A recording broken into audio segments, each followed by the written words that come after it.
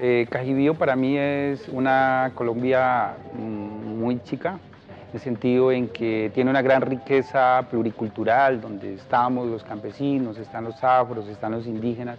Contamos con una fauna espectacular, eh, con gente productora, con un buen clima también para desarrollar la, parte de agrícola.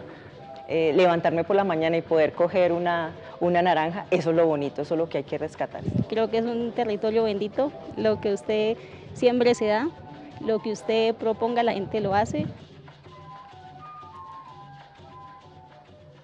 Por los relatos de mis abuelos, ellos siempre vivieron en paz, siempre vivieron en armonía, eh, pero digamos a veces la llegada de actores, las luchas por el territorio, eh, han dificultado la, la vida.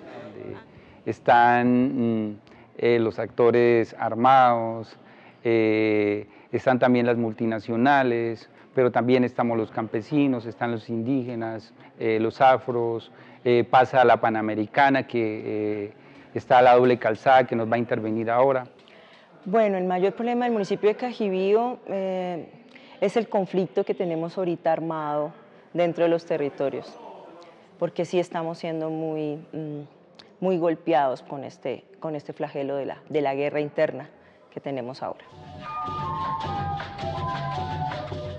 Municipio tranquilo, en paz, mm, superando todas estas dificultades que pues en cierta forma nos están ayudando también a madurar, a tomar conciencia de que debemos estar más unidos Vivo para nosotros es la oportunidad que Dios nos ha dado y los espíritus de estar en este territorio y tenemos esa gran responsabilidad de seguir creciendo, de llevar ese legado de nuestros mayores y mayoras que también nacieron en este territorio.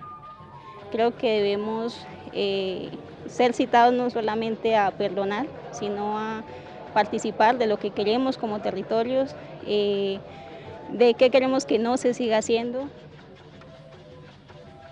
nosotros no necesitamos acá que nos militarice, no necesitamos las cosas, necesitamos es mucha inversión social. Eso es lo que necesitamos para sacar a Cajibe adelante.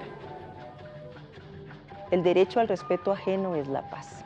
Si yo respeto a mi vecino con su cultura, con sus diferentes eh, pensares, entonces todos vamos a vivir en ese territorio de vida.